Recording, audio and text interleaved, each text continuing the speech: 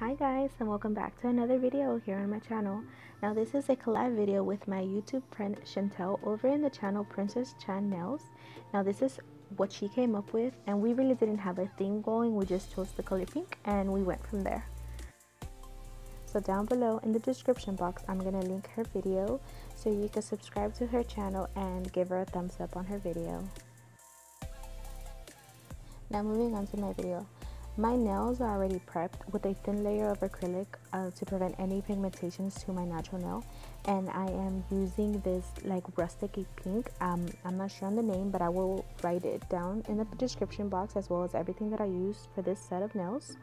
And um, my nails are in the coffin shape. So whenever I'm working on my own hands I like to work with small beads around my cuticles just to prevent any of the acrylic touching my skin and uh, preventing any lifting.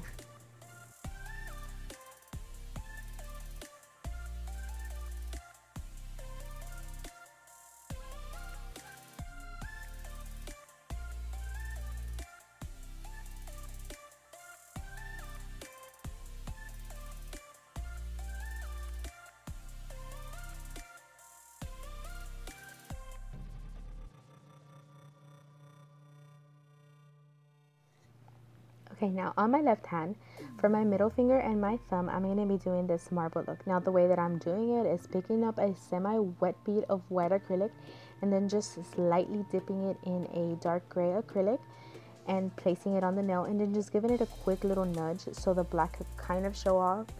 You don't want to do it too much because the white is the main color. The black is just that marble look. Now it's better to work with small beads when you're doing this because you'll get more of that marble look.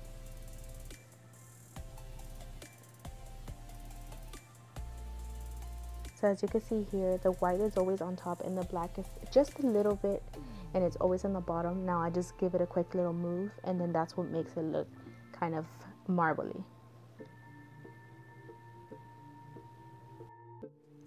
So once I'm done with the black and white marbling, I'm going to come in with a pretty wet bead of the same little rustic pink color and then just blending it in, making it look marbled into the black and white. So here on my thumb, I'm doing the same process as my middle finger. I'm just marbling it in, picking up the white beads and kind of blending it in, pushing it just a little bit so the black could kind of come out, but I want the white to be the main color for this marble now. And like I mentioned before, make sure you work with pretty small beads because that's what's going to give it that really pretty marble look.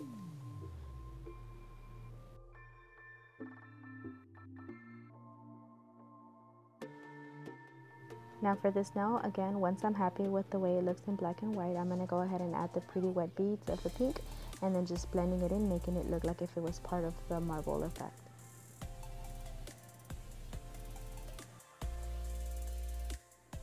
Okay, so once I am done with the design, I'm going to go ahead and encapsulate all the nails and then I'll move on to filing and shaping the nails.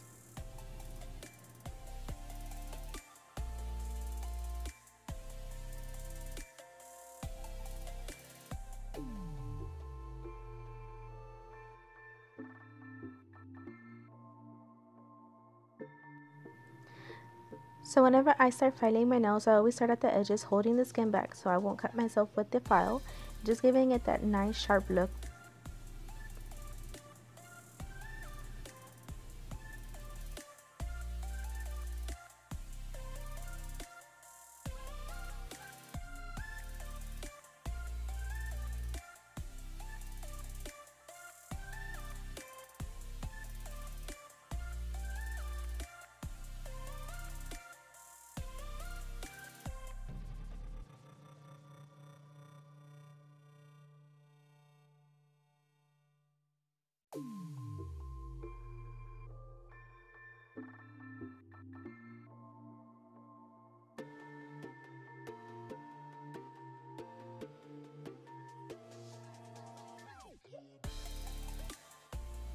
Now when I'm done using the hand file, I'm going to move on to my e-file and then this is my favorite drill bit to use around the cuticle. I like the way that it finishes it off.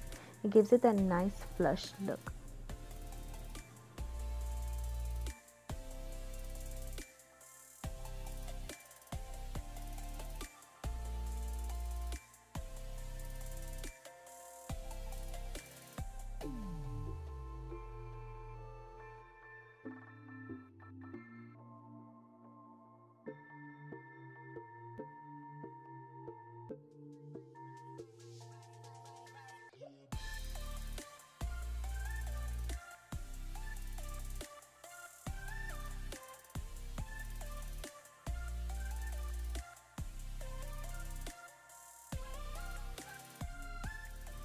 So moving on to the design of the nails, I'm coming in with this pink striping tape and then just placing it on two of my fingers of each hand.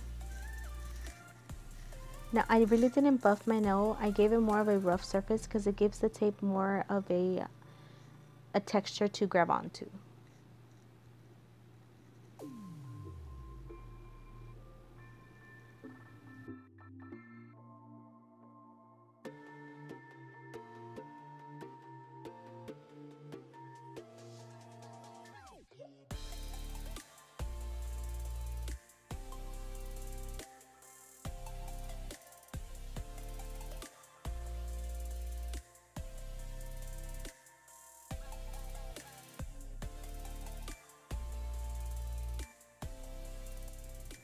Now I'm just going to go ahead and place some crystals on my nails using my regular glue that I use for my tips and a wax pencil.